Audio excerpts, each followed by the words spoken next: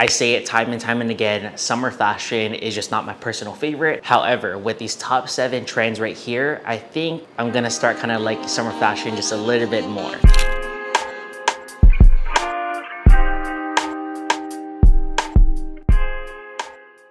What is up you guys, Stevie here. Welcome back to my YouTube channel. In today's video, I wanna share with you guys these top seven trends I have been seeing all over the place lately. I've seen these trends successfully styled. I see them from the more affordable brands all the way up into the designer brands. I see companies kind of implementing these particular trends when it comes to styling, the style of pieces, and just these kind of vibes across the board. These kind of trends have definitely got me inspired and got me excited for summer fashion. As always, I'll walk you guys through each trend. I'll talk about how I personally would style it, why I like these trends so much, where you can get these pieces from. And overall, if you just like my style and you kind of want to switch it up for the summertime, this video right here is definitely for you. Links to everything mentioned, worn, and all that good stuff will be in the description box down below. All right, so intro out of the way, enough rambling, grab a snack, grab a drink, and just kind of relax me for a bit. And let's dive into these top seven men's fashion trends for this summer season. Kicking things off with trend number one, something that I have been seeing heavy lately is unique shorts slash jorts. Yes, you heard me say it right. Jorts, fam jean shorts, unique shorts, cargo shorts, nylon shorts, basically any type of shorts that's just a little bit more unique, whether again, it's a cargo style, it has a lot of over exaggerated pockets, maybe it's a different cut, it kind of leans a little bit more towards the longer side, it's a different material, a more unique color, or it is a jean short slash jorts. You guys already know how I feel about shorts. I feel like it's one of those things that's very tricky to style and it's really tricky to find really nice pair of shorts. The type of shorts that you're seeing on the screen and the ones that I'm personally recommending. The more unique stuff, the more modern silhouettes, the more just elevated use of materials and fabrics when it comes to shorts. Those are the kind of shorts that I want to highlight and those are the kind of shorts that I feel like is trending for this summer season. I can see myself just wearing a super simple basic tee with any of these shorts, a really nice sneaker, a hat, a crossbody bag, and some shades, and I'm good to go. If I wanted to dress up the shorts a little bit more, I probably would opt for an oversized button up, keep it open face, kind of button it all the way down, and then have a really nice ribbed tank top underneath with the shorts. And then, of course, repeat that same outfit recipe with the sneakers, chunky socks, hat, shades, crossbody bag, and you are good to go. You can really have some fun with these pieces right here without breaking the bank. And so of course I will leave my favorites in the description box down below. So check that out if you're interested. But yeah, trend number one, we're starting off strong. Unique shorts slash jorts. I never thought in the years on years on years that I've been doing YouTube that I would be recommending fucking jorts, but here we are. So don't knock it till you try it. And as always, it's just a trend. Let's just have some fun with it. It's not that serious.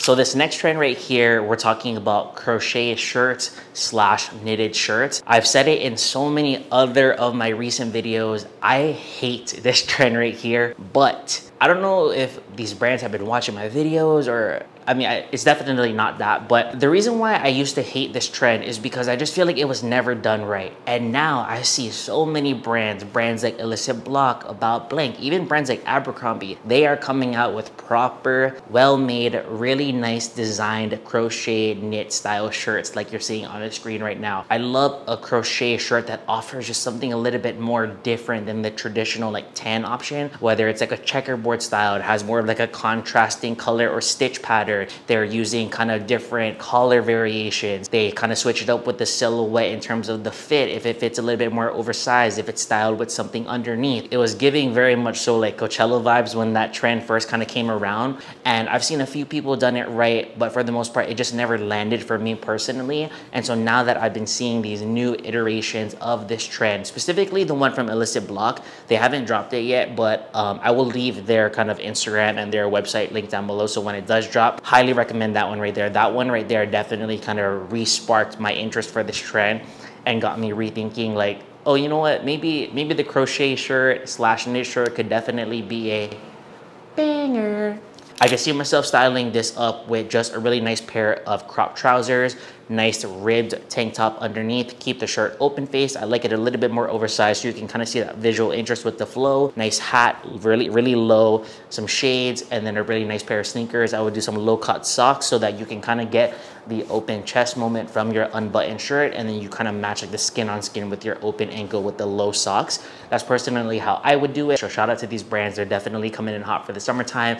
And let me know in the comments if you guys feel the same way about crochet shirts or if I'm just tripping. Let me know what you guys think. I already know I'm gonna get some heat for this, but I don't give a shit. Let's talk about leather pieces for the summertime. So I know that obviously it's the summertime, it's hot and it's super impractical to wear leather during the summertime. I'm not saying you have to wear a all leather suit, like a leather blazer, a leather shirt, a leather trouser, a leather shoes, leather bag, leather hat. Not talking about that in terms of leather for the summertime. I'm talking about sprinkling in leather pieces into your summer fits to kind of get that really nice elevated look and feel when it comes to your outfits. For example, there there is a couple pieces from Cole Buxton that I just absolutely love. The leather shorts, I feel like is a really great example. I'm thinking that maybe styled with just a really light kind of white long sleeve, similar to how they did it with some sneakers underneath and then just a really nice low profile cap or kind of just even implementing leather loafers, leather bags, any sort of leather accessory, maybe even like a leather hat of some sort. I feel like leather is kind of one of those materials that obviously you don't necessarily think about it during the summertime. I don't know, I had this strong feeling that that's what it that's what it is for the summertime and that's what it's gonna be. Again, just little touches of this of leather within within your summer outfit. So maybe white rib tank top underneath, some light colored crop trousers, a really nice pair of sneakers, a light colored hat, and then maybe during the nighttime you're wearing a super oversized leather bomber jacket. I just picked one up from Zara that I really like that I'll show you guys when I do get it in. But just stuff like that. It's all about the styling. And again, I'm not referring to wearing all leather for the summertime. I don't want you guys to be drowning in your sweat. I'm more so just saying thinking outside of the box for the summertime, having a little bit more fun with it and gravitating towards things that you wouldn't necessarily wear so that at least for us fellas, we have more variation and we have more fun in the outfits that we're putting together for the summertime. So it's just not it's just not kind of giving repetitiveness all the time. This next trend right here is something that I personally don't think that I'm ever going to style and I Loki don't think I ever could, but I love, love, love seeing it on other people. Let's talk about neckties slash bandanas styled as an accessory for the summertime. So I've been seeing a lot of brands using kind of like a, just a standard bandana tied around their neck or even like a handkerchief um, on like one of the belt loops on like a shorts or like a pair of crop trousers or even something as simple as like a tied bandana slash necktie kind of draped over a crossbody bag. Just kind of adding that little touch to your details for the summertime is just such a nice little flex for me. I personally feel like this trend is a little too I don't necessarily know what the word is, but I just feel like it's a little too something for me. I'm gonna have to marinate on what the word is, but even though it's not necessarily a trend that I will be styling personally, it has me inspired. It has me just really kind of thinking differently when it comes to using and implementing these types of accessories into my outfits. So regardless if I might not necessarily wear it around my neck, I could be open to wearing it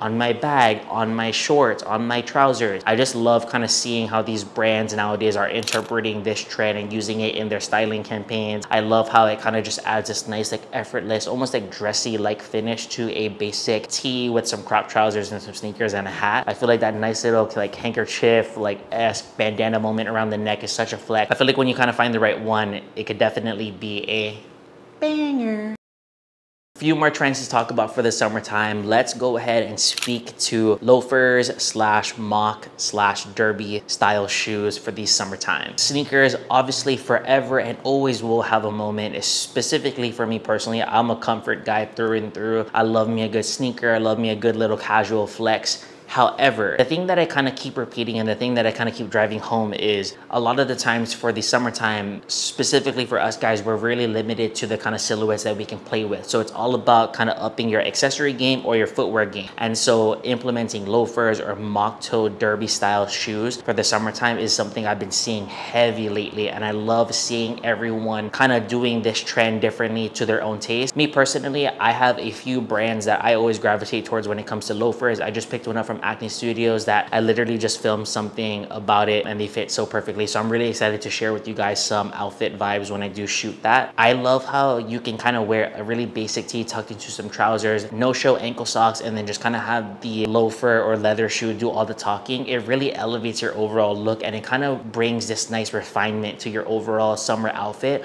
that you wouldn't necessarily would be able to achieve with just a standard sneaker. Let's say you're going to somewhere at nighttime and you want to kind of elevate your outfit just a little bit I feel like there is a big difference between wearing a basic tee, crop trousers, and sneakers and a hat versus basic tee, crop trousers, loafers, and a hat. Overall, just brings that outfit from here to here, and I will be sure to leave links to my favorites in the description box down below. I would definitely recommend checking out the Acne Studios one that I purchased because I feel like I've been doing my research, and even though I do have a few brands that I always go to for these types of shoes, that Acne Studios one is chef's kiss. It's so good so check it out and definitely if you have some extra money lying around buy it before it sells out. I think it's on sale right now. At least i got it on sale so i'll leave a link down below for you guys to check that out this next one right here is something I'm super excited about. Let's talk about rib tank tops slash wife pleasers slash wearing tank tops as an actual base layer for an outfit. I kind of love this vibe that we're in right now where everyone is just kind of dressing up a tank top and kind of wearing it and throwing it into a outfit to kind of come through with an actual casual flex. I love it. Just think a really nice high quality thick rib tank top, either white or black for me personally, tucked into some light colored trousers, a pair of loafers and a hat and some shades and you are good to go. You can even kind of style up rib tank tops underneath things. So as I mentioned, the crochet shirt or even just an oversized button up shirt of any sort with some shorts, some sneakers, or you know, if you kind of wanted to dress it up even more, you could do the rib tank top over that with a really nice like lightweight linen blazer and then a matching coordinating blazer short and then a sneaker or a loafer. I think for me, the tip when it comes to wearing tank tops for the summertime is it has to either be ribbed, which you guys are seeing in the examples right now, or it has to just be of a higher quality. For me personally, I'm not gonna go to Walmart and get like you know, the Hanes ones. Those are great for like staying at home and stuff. But if you want to wear a tank top out and you want to kind of come through with that really nice elevated look and feel, the quality of the actual base layer tank top in which we're talking about has to be fire. It has to be quality and has to be nice and thick because you can kind of see it. It'll read just differently if it's of high quality. So I will leave links to my favorites down below. But yeah, let me know what you guys think about the whole trend of wearing like wife pleasers, uh, rib tank tops and all that stuff with like a belt crop trousers and like loafers. Let me know if you if you guys are liking that look or if you're like, I don't like that. Let me know what your thoughts are about this trend and just all the other trends that I've been speaking to lately. My last and final trend that I have been seeing so much lately that I personally will be implementing and I just bought something to play with this trend. Let's talk about bold logo tees. My personal outfit recipe always and forever during the summertime is always going to be a high quality basic tee of some sort, crop trousers, no show stocks, and sneakers, and a hat, and shades, and maybe a bag, a diaper bag now that I'm a dad but you guys get the point. On the days that I kind of want that said outfit recipe to kind of come through with just something a little bit more, I want to elevate it and I just kind of want to be maybe on my more bolder flex, I will always opt for a bold logo tee. I just picked one up from Jil Sander. It literally just says Jil Sander straight across the chest, really nice, big and bold. I'm thinking that with a pair of light colored trousers, maybe a darker shoe to kind of bring back the color from the tee and then a lighter hat. So I'm kind of like sandwiching my colors. And when I say bold logo tees, bold logos is subjective and it's different to everyone. So, you know, the Jil Sander one that I referred to, that's pretty big and bold, at least for me. But if you kind of want just a logo tee, you can offer something that has like a little mini, little embroidery on the chest, or it could even have like a little detail, like kind of, I don't know, towards the back or something. Just anything that has something on the tee so it's not just a basic kind of basic tee is what I'm talking about. I'm gonna kind of give you an example. I really do feel like there's a difference between wearing a plain black tee, trousers, sneakers, hat, shades versus wearing a bold logo black tee, trousers, sneakers, hat, shades. If you want to switch it up, if you want to have a little bit more fun, and of course, if you want to show love to your favorite brands, that is the most easiest way to do it. And nine out of 10 times, the most affordable thing that you can get from a brand is a t-shirt. So my top tip when it comes to that, of course, is if you're going to invest in a t-shirt from a brand, just make sure that the quality is good, make sure it's nice and thick to kind of, you know, solidify and to kind of make sure that that price, higher price point is worth it. The Jil Sander one that I got is nice and thick. There are some other brands that I really like. The Acne Studios one with just like the minimal logo right here is really nice. And there's a couple of from like Ami Paris that I really like with a nice little embroidery of the heart. They have like a small one and then they also have like a big one uh, in the chest. I'll leave links to my favorites down below. Overall, if you're just kind of getting tired of wearing basic tees and you kind of want to, you know, come through with that casual flex, with that brand moment, with that logo moment, bold logo tees for the summertime, 10 out of 10, highly recommend.